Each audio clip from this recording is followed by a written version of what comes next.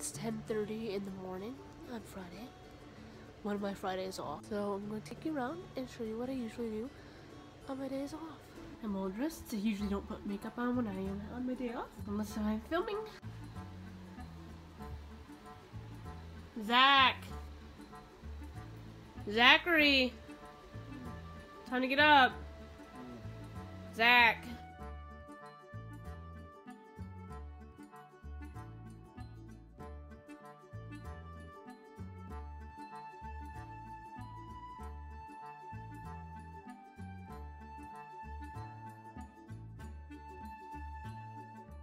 Just in case that my phone wasn't filming, I thought it was. I do not know if it wasn't. Either way, I'm at the post office. Now I have to drop off two packages and I'll be back. I sent those in. I sneeze like twice in there. I get really bad allergies in the morning. And the entire line of people and the post office lady basically shunned me for sneezing. When I say shunned is when I came up there, she is like, do you have the flu, miss? I'm like, no, I just have allergies in the morning. She's like, oh, okay. what if I did? Are you gonna send me out? Are you gonna quarantine me? I mean, I get it. It is flu season right now. I guess I can go. But let me tell you, I've been taking virology classes and epidemics classes, college course classes, free classes online, but they're still the full college course ones.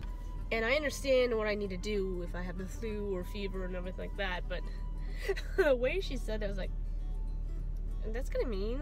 the way you said that, it's kind of disrespectful. I don't know the right word. Rude. Maybe that's the right word. I'm heading to Max's game store. It's a local game store around here. And I am going to pick up Zach's game. I do sound sick. I get, I understand that when I people meet me in the morning, I do sound sick. My nose is unclogged and I get really bad mucus in my throat, but apparently that's hereditary from what my dad said. I don't believe it, but apparently it is. Zach and I are really, really big gamers. Let me see if I can fix this. You can see me a little bit better.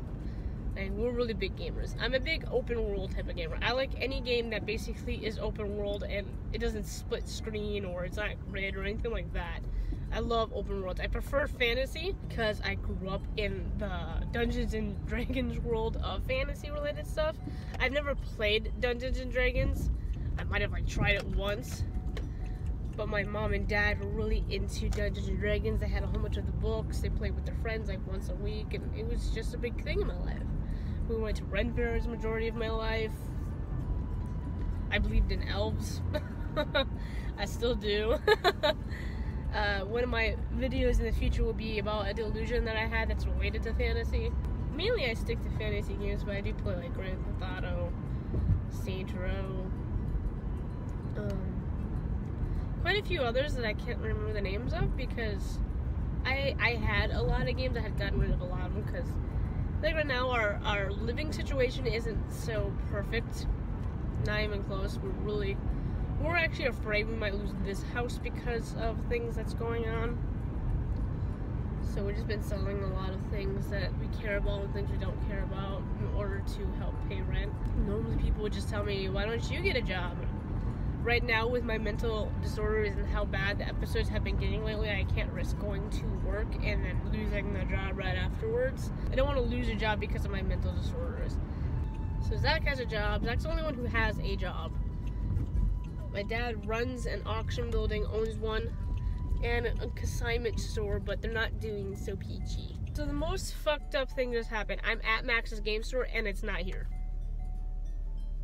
I pre-ordered that game. What do I even fucking do? I gotta figure something out. Oh, Zach's gonna flip out. I'll be back. I have to call a few people. Do you see this? It's literally closed and I just tried calling. I just tried going to their Facebook. Everything is unavailable. It's not allowing me to get anywhere. And I pre-ordered that game and I paid in full. So I have no idea if it's going to be sent to me. I have no, I have no way of contacting them. I'm actually furious right now. Freaking furious take it as this. I just told you I am having financial issues and I paid for this back in December. $60 is a lot of money for me. a lot of money for me right now. So I have no idea if I'm going to be getting that game. So now I'm going to be going to Walmart across the street to get Zach his game because he's been dying for this game the moment we heard they were making it. So I am so angry right now. I want to call. I want. I want to get a hold of them, obviously, because if they don't send me it, I want a freaking you know, give me a refund, give me my money back. Very interesting Friday. Ironic that I start vlogging on these days and this happens. So what happened was, I ended up going to Walmart. I purchased the game. I asked the guy, "There's no way I actually know how to handle this." He said, um, well, the thing is, they closed down because I guess the place started on fire. Apparently, the guy who owns the store had another video game business somewhere else, and that started on fire. So now there's an, an actual active investigation against him. So I call, I came back because it's just right across the street, and I called the number that's on the door, and the door is like to buy the property kind of thing. Of course, after it's fixed up. I asked him like, hey, I had purchased a game, pre-ordered it, I haven't gotten reimbursed, I don't know what's going on, is there a way I can get in contact with the owner of the store? He said, I can't give you the information because he's under active arsenal investigation. I'm like, well, damn! I'm like, okay, thank you so much. I don't think I'm gonna get reimbursed because there's no way for me to get uh, contact with him. I've looked online everywhere. Uh, the Facebook is not popping up anymore. The Twitter, they haven't responded since November. So, uh, weird, right? I don't know what to do. Um, I guess I'm out 60 bucks. So I'm home. I didn't go to the bookstore, decided not to, because no one wanted to go with me, and it's about 15 to 20 minutes away on like a highway, and I get really paranoid on highways, so I kind of have someone, I have to have someone with me. I'm at home. Go make some Irish scones from my Irish recipe book. I'm gonna go do that. Hopefully have a better day after what I just heard losing $60. So I started baking. And then the power goes out. Like the entire power goes out. So I got this food ready to go into the oven. And I can't do anything about it and I have a lot of dishes to do. Yeah. What a day.